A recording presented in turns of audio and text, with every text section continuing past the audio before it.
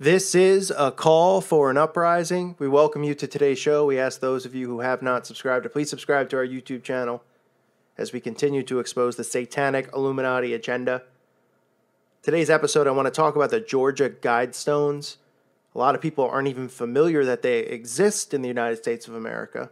But as, as I've been pointing out, there are a lot of monuments, a lot of symbols in plain sight that will point you right to what is going on, which is the Illuminati and the New World Order and the end times that we're in and the takeover that we're under.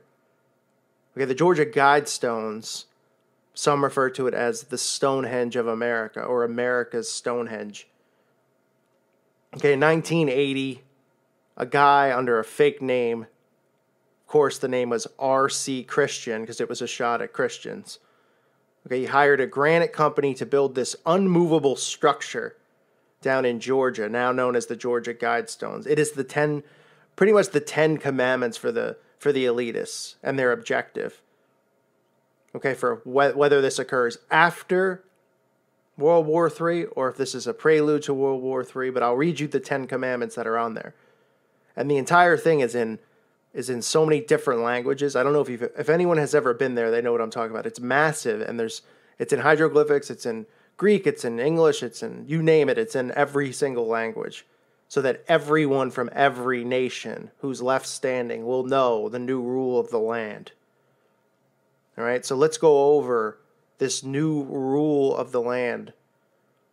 Number one, maintain humanity under 500 million in perpetual balance with nature, right? Because they push this nature paganism crap. But that's a very hefty goal, being that right now the current population is set, oh a little bit over seven billion, and they want it at 500 million. So you're talking about wiping off a lot of people, and this is in plain sight. We're okay with this in Georgia that there's this that this has been placed there under surveillance, of course, cameras everywhere in case somebody wants to go defame it right? They want to make sure nobody touches their commandments. You can't even put the Ten Commandments out in front of a courthouse anymore, but you can put the, their commandments up, their laws of the land, right? Which should be offensive to all, being that it says to keep the population under 500 million when we're at over 7 billion. So, what does that mean for the rest of the world? That they're planning a massive extermination, right? And look at the signs pointing towards it the FEMA camps, the stuff that they've created with ISIS Korea, etc., etc. Their plan all along is to depopulate. 500 million is the goal. I've put in my other videos, I put clips in there from Henry Kissinger, Ted Turner, all these elitists talking about Bill Gates, how we need to get the population down. It's right there in the Georgia Guidestones. Their guide for the rest of humanity, whoever survives what's about to occur. Goal two guide reproduction wisely, improving fitness and diversity. Okay, so they even want to control who's producing and who's not. We've seen that in other countries before where you're only allowed to have a certain amount of children under law of the land. They're going to guide that. They're not going to allow you to have as many kids as you want. They're going to defy God and His will. You're going to be under such strict dictatorship. Number three, unite humanity with a living new language. Okay, that's a one language. They want to go back to one language, like it was at the Tower of Babel before God scrambled up the languages to prevent them from starting a new world order. Okay, so they want to go back to one singular language. Number four, rule passion, faith, tradition, and all things with tempered reason. Number five, protect people and nations with fair laws and just courts, right? Just courts that they control completely like they do now. Number six, let all nations rule internally, resolving external disputes in a world court. That's right, a world court. A one world court. Seven, avoid petty laws and useless officials. I don't even need to get into what that means. Jeez. Eight, balance personal rights with social duties. In other words, make sure you balance, right? Because they're all about balancing the yin and the yang, the good and the bad, as above, so below. They want to make sure you balance your personal rights with your social duties, your obligations socially in this New World Order. Number nine, prize truth, beauty, love, seeking harmony with the infinite. Oh, that's very nice and pagan. Number 10, be not a cancer on the earth, leave room f- for nature. Leave room for nature. They say it twice to leave room for nature.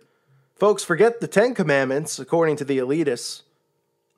Because you got a new Ten Commandments, their commandments, the law of the land, man's law. No longer God's law. Like I said earlier in this video, you can't even display the Ten Commandments outside a courthouse. Okay, you can't even display them anymore. But nobody's in an uproar about this facade that's been put up, that's allowed to stay up, that's under that's being monitored 24/7 surveillance to make sure nobody touches it. Right? This is their law, the Masonic law, the satanic law, how they want you to live, how they're going to control your life. This is in plain sight. Has anyone ever heard of it? I hope you have. If you haven't, here's the news flash. This is in plain sight in Georgia. It's a monument. People go on vacations to visit it. And nobody seems to have a problem with it. Sure, there's some people here and there that might pro- go there and spray paint it or desecrate it or do something to it. But as Christians, we can't even display the Ten Commandments anymore. But we're okay with this new commandment, which says that we need humanity under 500 million to have perpetual balance with nature. And we have 7 billion now. 7 billion to 500 million. So they want, how many people do they want to kill? Oh, 6.5 billion? Oh, is that all? Oh, that's not a big deal then. I mean, right? No big deal. We allow this to happen. We can't. We can't allow this to happen. Not like this. Where, where are people protesting this? Where are people going to the court? This is just shows you how much control they have and power. They won't even listen, they'll ignore you. But the sheep continue to go about their work every day, their pointless desk work, sitting at a desk, being a slave to the system. Well, they're planning your demise right in front of your eyes. Just, they're just distracting you. It's just a matter of time. They've got a time and a date probably penciled in. And while you're filing GP, T, uh, TPS reports, okay, they're looking at their clock going, yep, okay, we're right on schedule. We're going to get it down to 500 million. And then just like that, all of us are going to be extinct because we did nothing about it. We have to wake up. We have to see these things in plain sight. Share it with your friends. Share the Georgia Guidestones. Tell them about this if you didn't know and say, What in the world? Can you believe this? It's not a coincidence. What do you think? Somebody randomly just put it there? It doesn't have significant meaning behind it?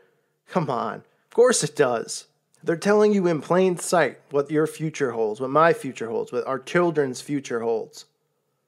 These sick, satanic, perverse scumbags that need to be exposed. Help me in exposing them. Get the word out. Share this channel or don't share the channel. Find somebody else out there that's exposing the truth if you like their voice better than mine and share theirs. The goal is to get this message out, to wake people up, to lead them back to our Father Yahweh, to lead them back to belief in Jesus Christ, the true and one and only Messiah. Okay? To bring the Holy Spirit to them, to get them to snap out of this trance that they're in. We have to do this together. It's an awakening process, and everybody has to be involved. All right? Thank you for listening to today's show. God bless you. May peace be with you.